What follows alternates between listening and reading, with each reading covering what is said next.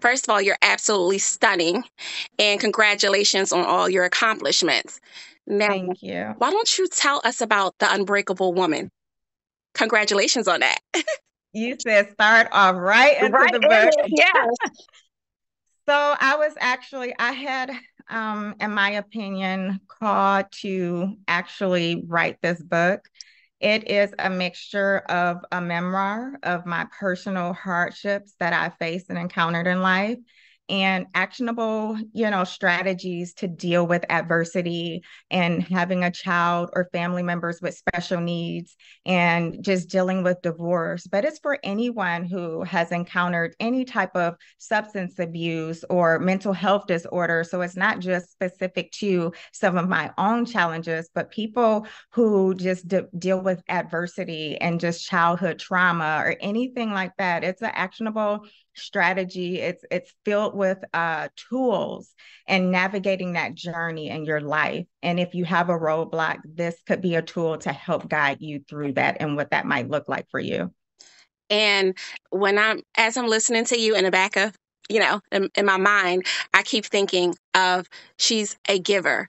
You give so much to the community. Why don't you tell the viewers about some of that you know, I really enjoy mentorship, and that's what I've been really doing now, just really um, helping other women start their Med Spa businesses, utilizing my social media platforms to highlight some of the women within the community mm-hmm. that have uh, their own businesses and are on the path and track for entrepreneurship and what that might look like. I've interviewed people even highlighting different, uh, you know, software and different uh, AI technology within the business world and how that might look coming up into 2024 with being a business owner. So just implementing some that? of that technology.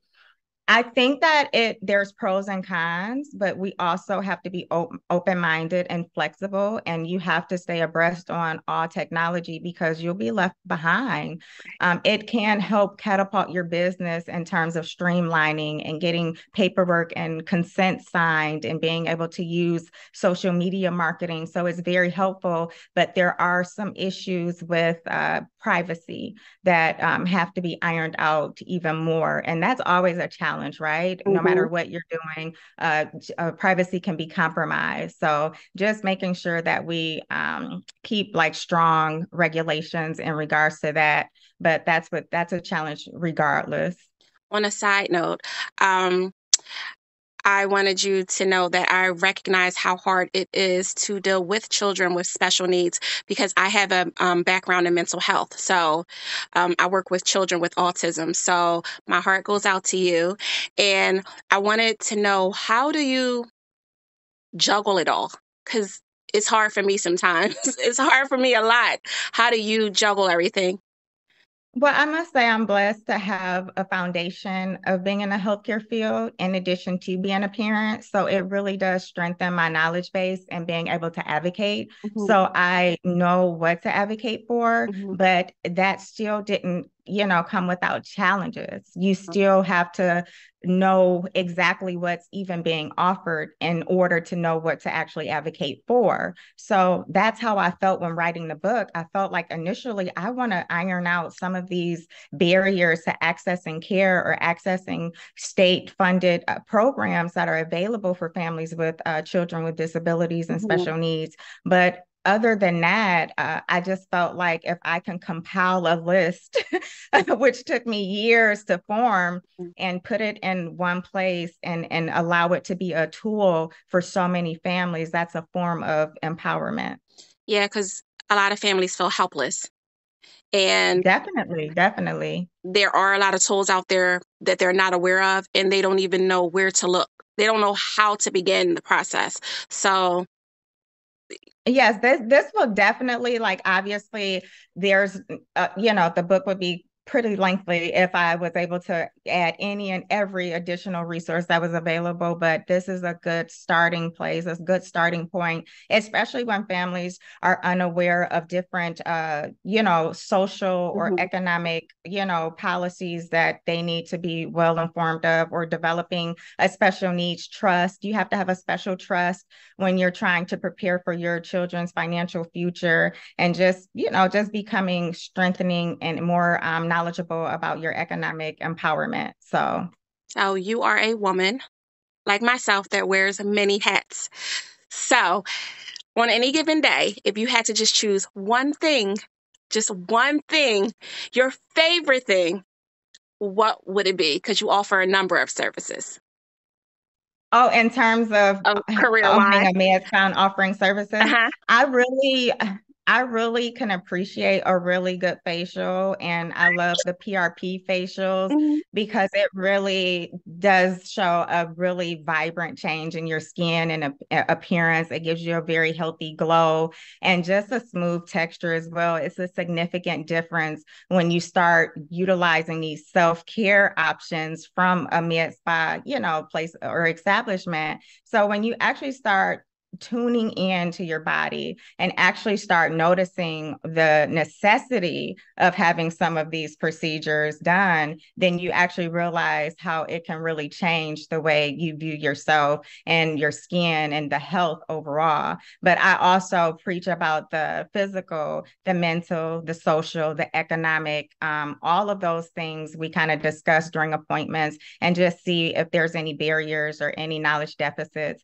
when patients are within the clinic, but I love I love all of it. I love aesthetics, but I'm not just into aesthetics. I do acute care and I also, you know, ch- deal with other challenges as well. So Okay.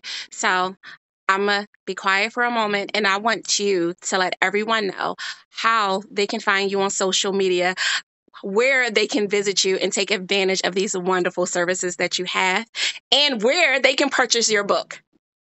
Oh, definitely.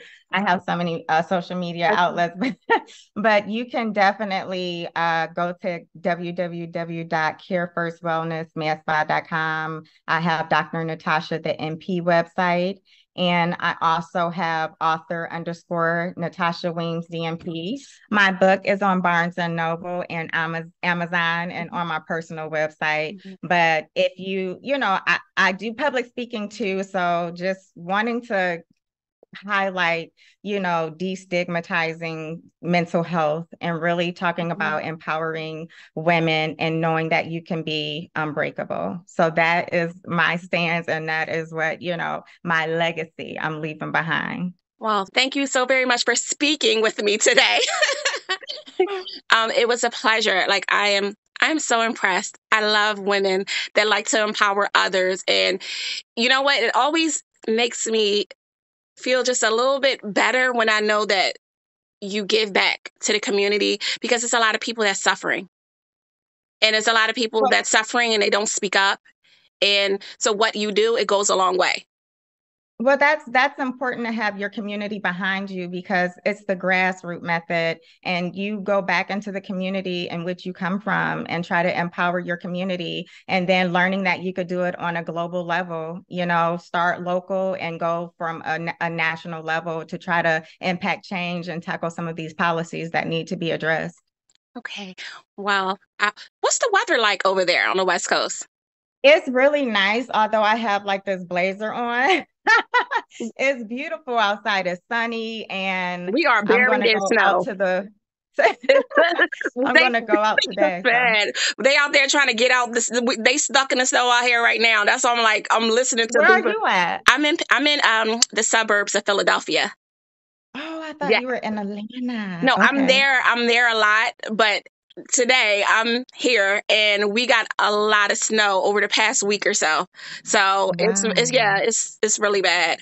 And I'm like where I live, it used to be a farm. So I'm on an acre of land that's covered in snow.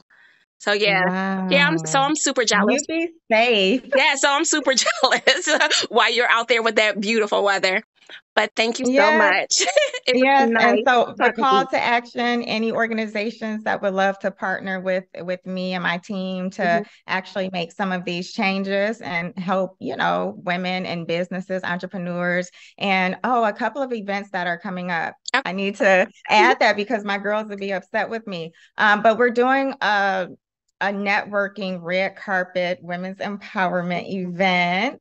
And that's going to be March 8th in LA. So tune in to social media because we'll be posting some information about that. And I also have a, a event with uh, the Billboard Inc. February 8th.